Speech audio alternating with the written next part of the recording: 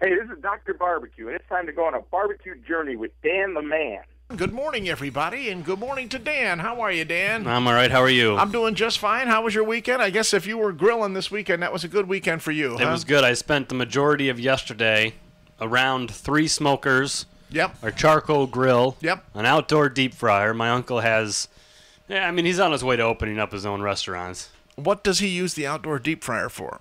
Or, Uh, or what did he use it for yesterday? Well, he didn't use it for anything yesterday, but uh, the last time I was up there, he had a, uh seafood boil Yeah. that he used it for. Yep. And uh, he's going. I think this Thanksgiving he's going to try to deep fry a turkey. yeah.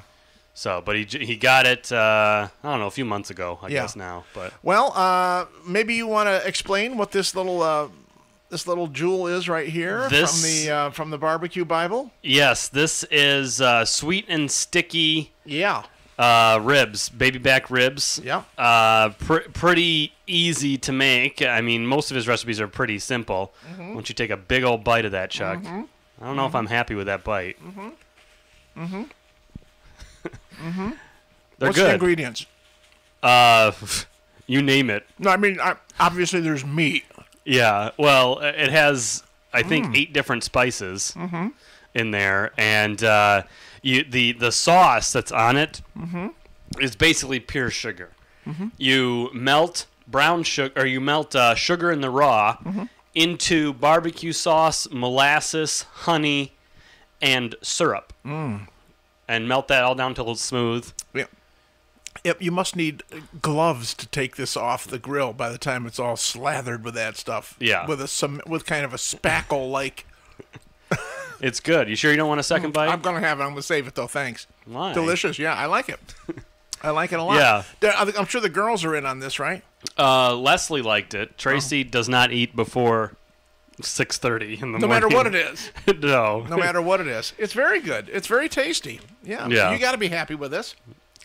Uh, oh yeah, yeah. It's uh, it turned out really well. I thought they were good. I adjusted the rub just slightly from uh, when I did Memphis dry rubs Mm-hmm.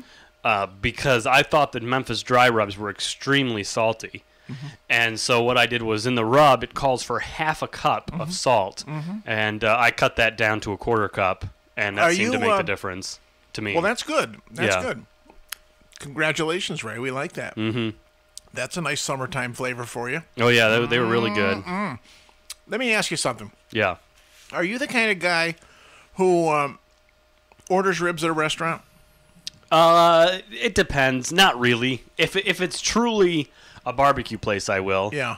But if they're ribs at like Chili's, for example, Right. No, No. I'm not getting those. But if if I go to, well, even Brooks, I would probably order ribs. Uh, Yeah, or a community barbecue where there are uh, smokers all going. Yeah, if, if there are ribs available at a true barbecue thing, then yeah, I'll I'll do ribs. I also really like pulled pork, and that's kind of pulled pork. I have found is much more consistent in restaurants than I like pulled pork. than ribs. If have we get- done? Have we done that yet? Have we done Have, you, have pork? you done a pulled pork There's no pulled pork something? recipe. There's no pulled pork recipe.